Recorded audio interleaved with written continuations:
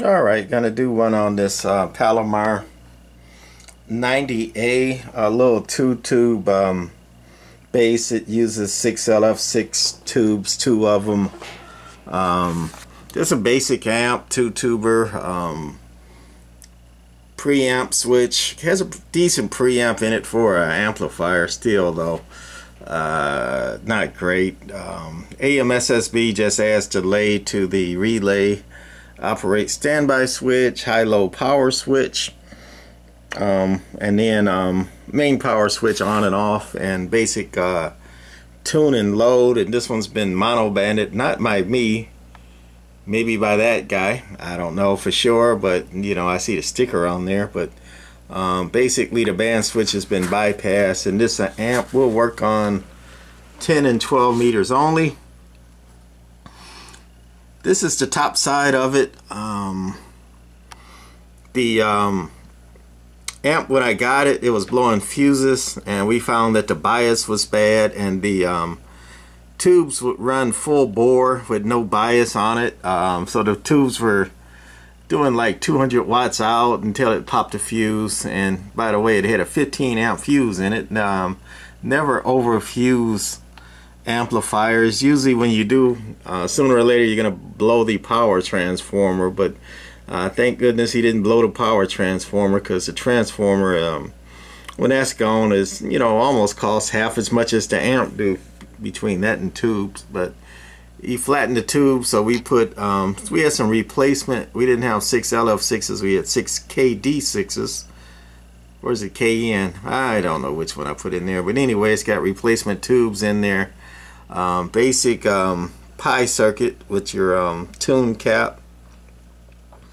tank coil and even though it's hooked to the switch it's just you know goes straight through and then um, to your load uh, cap. And then out over here you got your uh, meter.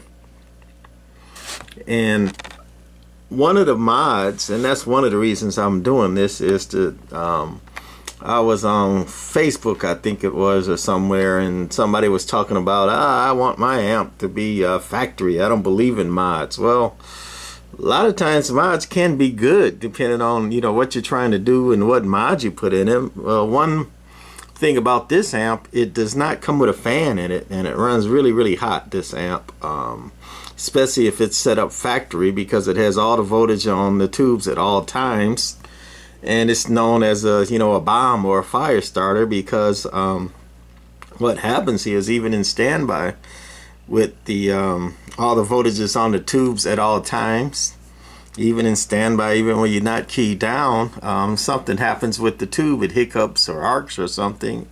Um, it could take out the high voltage or short something and the thing could go up in flames even in standby. Um, so anyway, one mod, somebody put in this fan. It's a 12 volt fan. Uh, I don't really care for 12 volt fans. And they put it into the low voltage of the um, low voltage power supply, DC power supply. I kind of like AC fans and hook them to the mains. But anyway, putting a fan in a sweep tube amplifier like this is a good idea. It's a good mod. Um, keeps it cooler, um, keeps the um, tubes happier and everything cooler and happier and it kind of eliminates well it doesn't eliminate it but it helps one of the problems is this amp runs really hot and you know it's a, it's a fire starter because it runs so hot. Um, another mod you know starting at the top that somebody else did maybe that guy on the picture here I don't know for sure but hey somebody did it not me. Um, they put in that uh, variable trimmer cap there and that's actually an input tuner. From the factory this amp does not have any input tuning at all. Um, so it just runs the input straight to the tube so somebody uh, maybe that guy you know again put in that cap trimmer and it gets the input tuning down some you know not completely but you know that helps and you can tune that to get your input SWR down. That's a good mod. One of the um, problems on this amp is it's a tetrode amp. I call that turbocharge and it got voltage on the screens instead of grounded grid.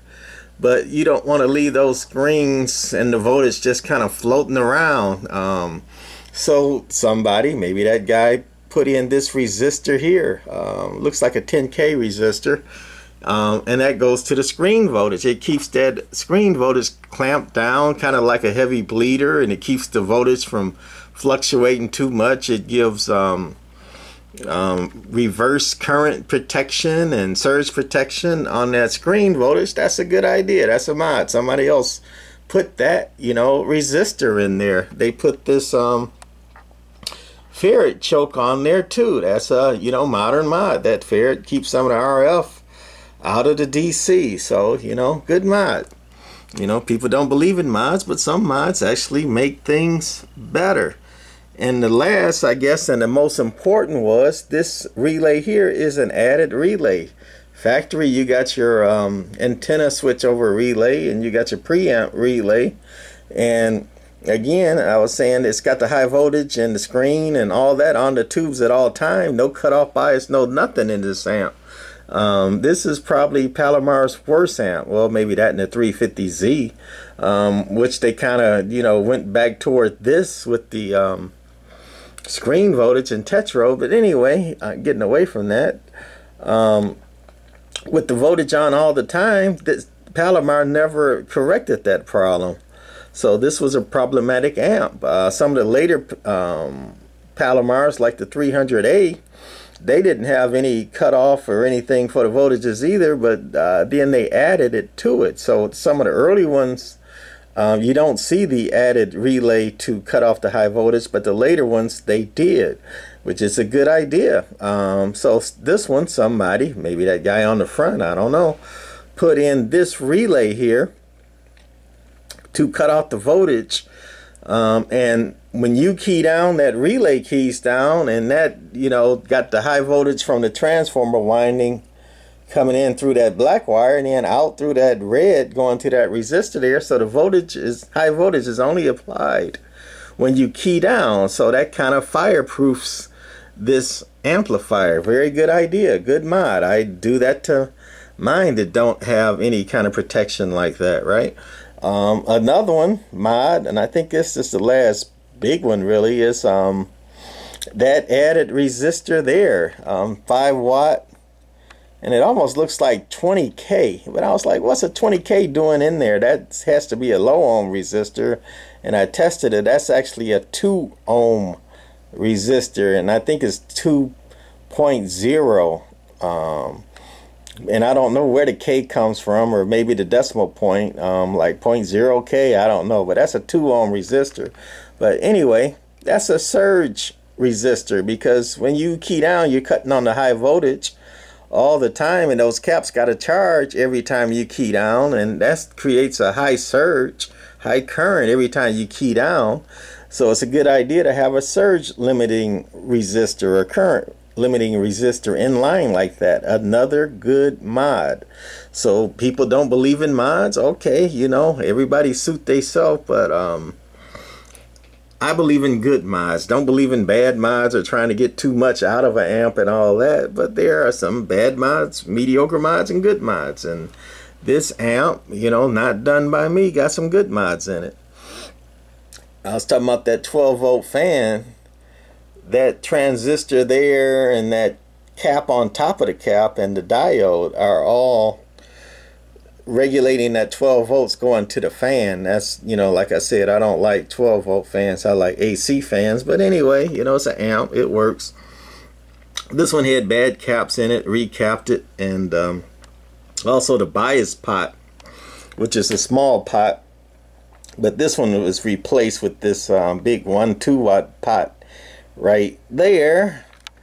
Um, so that fixed the bias and recapped it, and um, you know we had some other few minor problems with it, but um, the main problem was the bias, and somebody had put in a 15 amp fuse. Don't do that. But anyway, I think that's about all I wanted to talk about on this one. So I'm gonna set the camera down and turn it flat. Because some tubes don't like to be ran um, vertically. Well, that'd be horizontally. So anyway, hopefully we're still um, ready to go and not detuned it with my moving and, and all that. And um, letting it warm up. Also, this amp, it didn't have uh, the proper meter in it. It had a regular meter and somebody tried to like glue it in there and all that um, and it didn't work. So we had the right meter. It's just this meter didn't have the right insert wherever I got these um, Edgewise meters from. Edgewise are ones that run like this. Um, but it's the right meter, it just doesn't have the right insert, so it works. So we stuck that in there for the guy. And um, decent amp once you mod it all up and, and get it working uh, correctly. And don't try to get too much out of it. Uh, you know, a little two tube amp, little transformer. Um, you know, basically, and they call it a 90A because it's basically, you know, a little 90 watt amplifier. You know, if it was a 200 watt amplifier, Palomar would call it a, you know, Palomar 200 something. Um, so anyway, we're going to use the Mud Duck radio over there and um, look like everything turned the way it's supposed to be. So going to key it down and um, 200 watt scale there. And must be on peak. So we're dead keying 30 watts. Audio, audio, audio. Audio, audio. We're swinging to about 120 peak. We're gonna put it on uh, average. Audio, audio, audio. Talking about 50. Shh, shh. Shishing to about 60. And whistling to about 70. And that's the input SWR in watts right there. So three and a half watts going in it. 1.7, you know, 1.6, 1.7 input SWR. Not too bad. Everything working like it should now. Um, not a bad little amp. That's going to be it for this uh, Palomar 90A that I did for a local customer.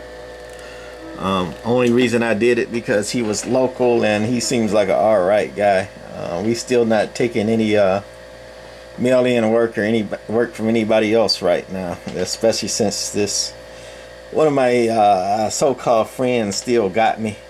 Alright, that's gonna be it for this one. Bye.